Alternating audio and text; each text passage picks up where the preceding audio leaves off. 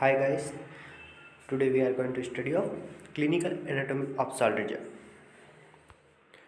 First is dislocation. The shoulder joint is more prone to dislocation than any other joint. Shoulder joint जो होता है उसके dislocation के chance बहुत ज़्यादा होते हैं any other joint और joint mainly क्यों होता है? This is due to laxity of the capsule capsule की लेक्स लेक्सिटी लेक्सिटी का मतलब तो कमी। कमी की वजह से इसके जो डिसलोकेशन के होते हैं चांसेस वो बढ़ जाता है। Dislocation usually occur when the arm is abducted जब आर्म को अपन अपडेक्ट करवाते हैं, तब इसके चांसेस ज़्यादा होते हैं। In this position the head of the humerus presses against the lower unsupported part of the capsular ligament thus almost always the dislocation is primarily subglenual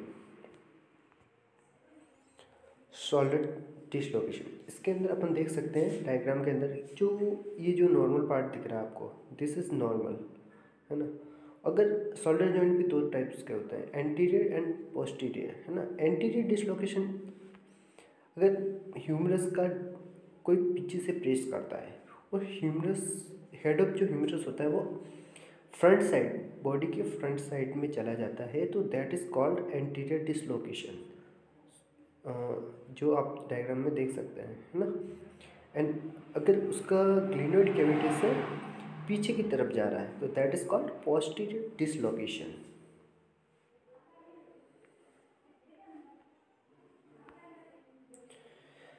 normal ये अपन देख रहे हैं दिस इज़ नॉर्मल डायग्राम और ये anterior dislocation क्योंकि जो head of humerus है, ये ग्लिनोइड कैविटी से आगे की साइड आ चुका है है ना? See the diagram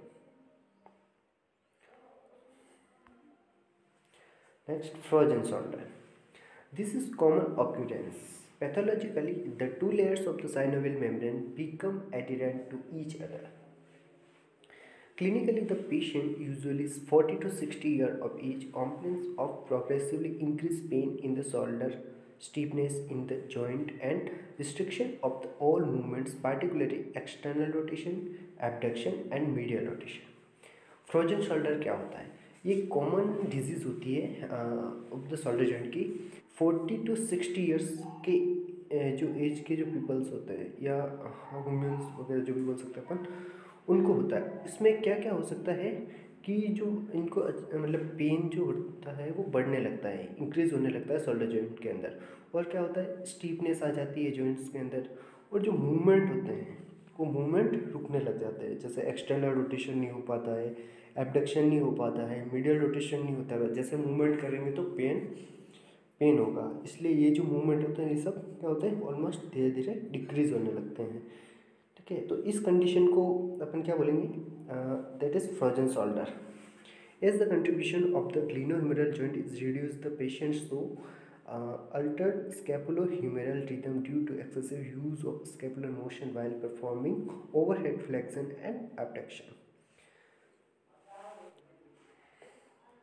हाँ तो अपन बात कर रहे थे फ्रोजन शोल्डर की। तो फ्रोजन शोल्डर की जो अपन आगे जाके पढ़ेंगे इसको, पूरा फ्रोजन शोल्डर के बारे में।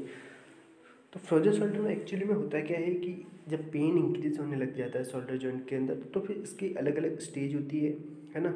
मसल्स के अंदर स्टीफनेस आ जाती है, जिससे जॉइंट जो होते हैं वो रुक जाते हैं। मतलब जॉइंट कर नहीं पाता, जो पेशेंट होता है वो जॉइंट प्रॉपर मूवमेंट नहीं कर पाता है है ना? So that is called frozen shoulder the surrounding muscles और डिश्यूज एट्रोपी एट्रोपी का मतलब वही होता है कि जो फिजियोलॉजिकल जो फ़ंक्शन होते हैं वो डिक्रीज होने लग जाते हैं। So that is called atrophy disease is self limiting and the patient may recover spontaneously in about two years and much early by physiotherapy जो फ्रोजन शोल्डर होता है वो वो एक मतलब कॉमन डिज़ीज़ है और ये कंटिन्यू मतलब टू ईयर तक चलती है है ना?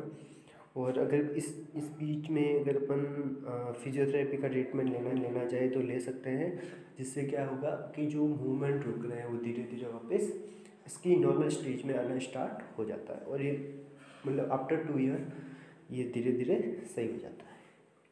Okay thank you